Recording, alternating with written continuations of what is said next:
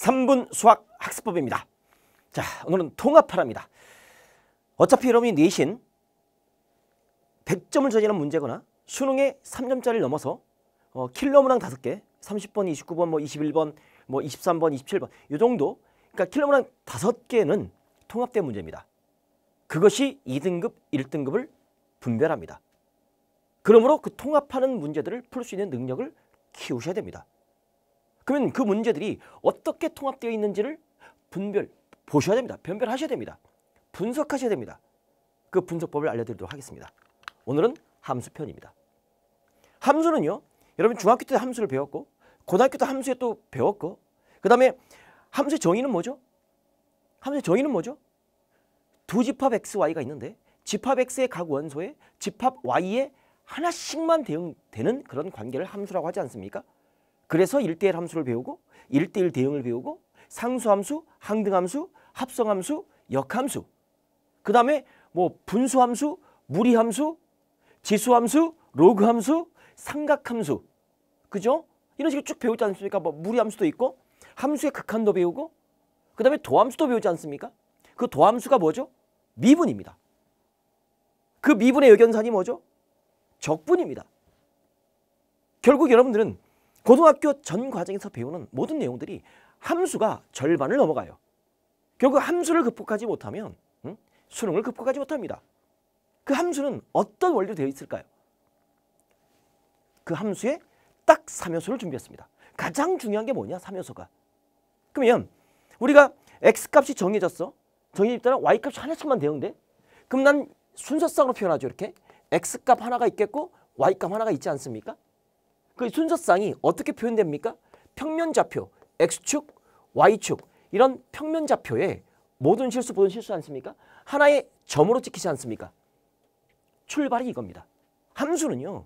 x, y를 순서로 묶어서 하나의 점으로 출발합니다. 가장 중요한 게 점입니다. 그럼 그 점들이 떠르르 모이면 뭐가 됩니까? 그렇죠. 그래프가 되는 겁니다. 그런데 이 함수 하나만 딱 갖고 문제가 보이는 게 아니라 저 함수를 이꼴 제로로 만들어서 어? 우리가 y는 뭐 2x 플러스 1, 1 있으면 이것은 1차 함수입니다. 길이가 2고 y절편 1이 1차 함수죠. y에다 0을 대입해. 그럼 0은 바로 2x 플러스 1인 x에 관한 1차 방정식이 돼요. 방정식을 해석할 수 있어요. 그래서 그 함수와 방정식이 통합되는 겁니다. 그리고 더 나아가서 함수와 방정식과 부등식이 통합됩니다. 알겠죠? 근데 이 세 가지 가장 방정식을 통합을 알아야 부등식을 통합을 볼 수 있는 겁니다. 이게 다다. 보도록 하겠습니다. 직접 볼게요. y는 x의 그래프입니다. 어떻게 합니까? x축, y축에 그려줍니다. x가 0일 때 y가 0이죠. 점 찍습니다. 원점이죠. 1일 때 1, 점 찍습니다. 2일 때 2, 점 찍습니다. 3일 때 3, 점 찍습니다. 점들이 어떤 규칙성을 발견하죠. 마이너스 1일 때 마이너스 1, 점 찍힙니다. 그런데 x는 아무런 말이 없으면 정의는 모든 실수기 때문에 다다다 연결되지 않습니까? 그럼 이 사이에 무수하게 많은 점들을 다다다 찍힙니다. 딱 찍혔더니 뭐가 되죠? 이것은 직선이 되는 겁니다. 따라서 이것은 1차 함수인데 기본형인데 이것은 직선의 방정식이 되는 겁니다. 됐죠? 그리고 기울기와 어차피 있겠죠. 그 다음에 y는 x제곱이 있습니다. 2차 함수죠. 0을 대입합니다. x축, y축 찍고 0 할 때 0의 제곱은 0이죠. 1일 때 1이죠. 2일 때 뭐가 됩니까? 2의 제곱이니까 4가 되지 않습니까? 쭉 직선은 아니죠. 마이너스 1일 때 마이너스 1의 제곱은 뭐가 되면 마이너스 1에 1을 대입해봐. 마이너스 제곱은 1이죠. 점 찍히죠. 마이너스 2를 대입해봐. 마이너스 2의 제곱은 얼마입니까? 4죠. 마이너스 때 4. 점 찍힙니다. 어떤 특징이 있죠? y축 중에서 좌우 대칭선을 갖고 있죠. 그리고 이 사이에 모든 실수기 때문에 따라라 점을 찍으면 어떻게 됩니까? 이런 포물선이 되는 겁니다. 2차 함수의 그래프는 포물선이 된다. 라는 사실. 점이고 그래프입니다. 점이고 그래프입니다. 아셨죠? 그 다음 x세제곱이 있습니다. 3차 함수죠. x축, y축이 있습니다. 0일 때 0이죠. 1일 때 뭐가 됩니까? 1이죠. 1의 세제곱도 1이지 않습니까? 2일 때 2의 세제곱은 8입니다. 쭉 올라갑니다. 그죠? 마이너스 1일 때 마이너스 1의 세제곱은 마이너스 1입니다. 그래서 밑으로 떨어집니다. 마이너스 2일 때 마이너스 2의 세제곱은 마이너스 8입니다. 마이너스 쭉 떨어집니다. 이걸 점으로 무수하게 많은 실수기 때문에 점 찍어보면 이 사이에 따르르 점이 찍히지 않습니까? 3차 함수의 그래프입니다. 원점 근처에 몇 개의 점을 찍어보면 그 함수의 그래프가 튀어나올 수밖에 없습니다. 확대됩니다. 이제 고2 때 수, 지수함수를 지수함수입니다. 밑이 2인 지수함수죠. 어때요? X에다 역시 0을 대입해 볼게요. 그럼 2의 0제곱은 얼마입니까? 1입니다. x가 0일 때 1입니다. 점 찍히죠? 1일 때 얼마입니까? 2의 1제곱은 2입니다. 2일 때 뭡니까? 2의 제곱은 얼마죠? 3입니다. 쭉 올라갑니다. 마이너스 1 대입할게요. 그럼 2의 마이너스 1제곱은 이것은 2분의 1 아닙니까? 고2 때 배웁니다. 그러니까 마이너스 1일 때 2분의 1. 이 점 찍힙니다. 그럼 마이너스 x에다 2를 대입해. x가 마이너스 2야. 그럼 2의 마이너스 2의 제곱분의 1과 같습니다. 따라서 이건 뭐가 됩니까? 4분의 1이 되는 겁니다. 그래서 마이너스 2였을 때는 4분의 1 더 내려옵니다. 그래서 점들을 이렇게 찍힙니다. 이게 지수함수의 그래프입니다. 점을 찍어보면 그래프가 보입니다. 무리함수, 유리함수, 삼각함수 다 마찬가지입니다. 로그함수 다 마찬가지입니다. 원점 근처에 몇 개의 점을 찍으면 그래프가 나온다. 됐죠? 그런 상태에서 중학교 때 이것은 미지수가 두 개인 1차 연립방정식이지 않습니까? 어떻게 배웠죠? 더하고 빼서 가감법으로 배우지 않았습니까? 또는 대입법으로 배우지 않았습니까? 그죠? 문자를 하나로 바꿔서 그래서 풀었지만 이걸 이렇게 해석할게요. 이항시켜. 그럼 y는 x. x를 이항시켜. y는 마이너스 x 플러스 2. 그럼 이것은 1차 함수도 이것도 1차 함수입니다. 두 그래프의 어? 두 그래프의 교점의 좌표로 풉니다. 동시에 만족시키는 교점의 그래프로 해석합니다. 연립 방정식인데 그래프로 해석합니다. 이렇게. 그래서 y는 x 그래프 그려봅니다. 그래프 그려보고 이 그래프 기울기가 많았으니까 그래프 그려봅니다. 어때요? 교점이 얘죠?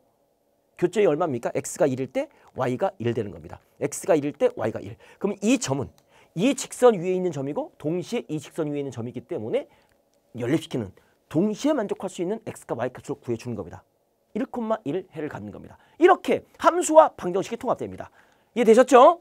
그래서 뭐 중학교 때 풀이 이렇게 되지 않습니까? 두 그래프의 교점이 2,1에 그때 a값 b값 구하래.